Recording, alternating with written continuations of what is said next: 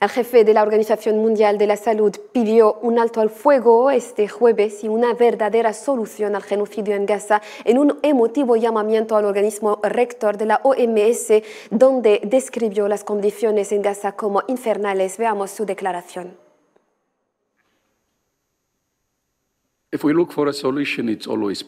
Creo que si buscamos una solución, siempre es posible. Solo se requiere voluntad.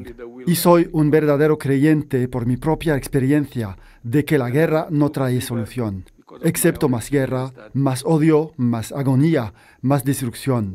Así que elijamos la paz, resolvamos esta cuestión políticamente. Creo que todos ustedes han dicho la solución de dos estados y demás. Y espero que esta guerra termine y avance hacia una verdadera solución, luchando por hablar. ¿Por qué?